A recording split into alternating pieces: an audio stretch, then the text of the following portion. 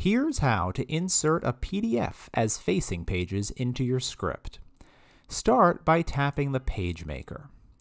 Tap Edit, Add, then select Source Document to open the file window. From here, you can navigate to your PDF within your local and cloud folders. Once selected, you can adjust the number of copies you'd like to insert and choose from options to add the page. Here's what happens with each option. First, selecting Add inserts the page into the front of your script. Number two, Add After Page inserts the page after a specifically selected page. And lastly, number three, Add as Facing Pages inserts your selected page before every script page.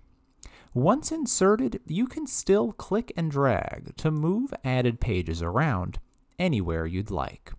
And when you're done, tap Save. For more step-by-step -step guides, head over to support.scriptation.com.